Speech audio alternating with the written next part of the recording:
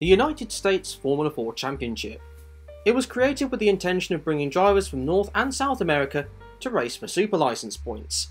That would help them get greater chances of racing on the European open wheel stage, graduating to the likes of Formula Regional European and FIA Formula 3. It's helped a large number of drivers get recognition for their talents, and in turn become well known among the racing fraternity. Some of these drivers include Cameron Das, Benjamin Pedersen, Eduardo Barrichello, Hunter Yeany, and Carl Kirkwood. These fields are usually stacked with cars, several drivers obviously wanting to prove themselves to major teams around the world that they're the real deal from this region. One day though, in 2017, an event would totally blow away any storylines that came from the weekend's action. The US F4 Championship were visiting the Circuit of the Americas for the first of two times that season. They were a support category to the World Endurance Championships visit to the track. Each round of USF4 consists of three races that would last half an hour in length. The second race would take place at the end of the day. In fact, it would be the last action of the day. Benjamin Pedersen would be on pole position and would lead the field out of turn 1. Loads of action would occur throughout the field, with the slipstream helping keep the cars fairly close to one another. Then, by the midway point of the race, well, the images explain for themselves. Yes, that is a school bus on the exit of the Fast S's portion of COTA. I mean, I'm sorry, hold on a second, let's just pause this for a bit and just take a moment to process what we're seeing here. Words completely fail me, even now.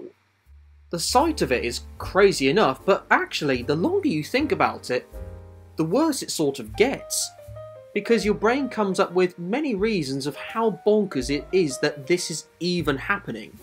I mean, I dread to think what could have happened had a car collided with the bus. Mainly because a lot of us know that the result of this wouldn't be pretty.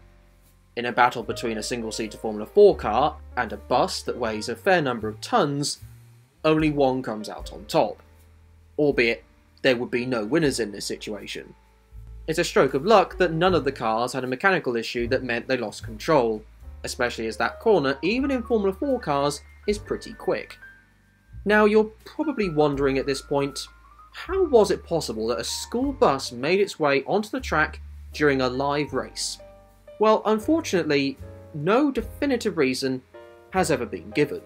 However, there is a very solid suggestion of what it possibly could be.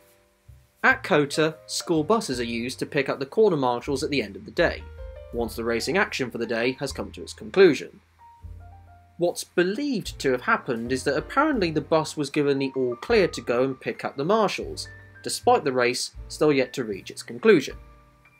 How it was potentially given the all clear in the first place to go and start doing this, from what I can find, seems to be a mystery. The race was immediately red flagged before being restarted again once the bus had been taken off the circuit. Luckily, this is an incident that can be looked back upon as one of those exceptional once in a lifetime moments that will never happen again. Despite this being quite a comical thing on the surface, it's a huge relief that nothing serious occurred from this instance of utter bizarreness. That though is going to be it for this video. A very short one I know, but thank you very much for watching, do you know of any other strange and bemusing events in the wacky world that is motor racing? Say in the comment section down below. However, until the next video, be kind to each other and enjoy the rest of your day.